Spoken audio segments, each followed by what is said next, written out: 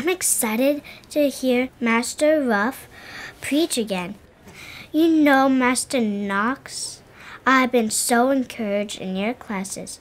Have you ever thought of being a preacher? Nay, I'm a teacher, not a preacher. Well, I heard Master Rough himself say said that you were you should be a preacher. You you won't accept that call? Nay, my boy, it's not that simple. He probably won't mention it again anyway. I don't know about that. um, I um, I want to speak with you this morning about calling. And the and the calling of the preacher. One must take the ministry of Christ very seriously.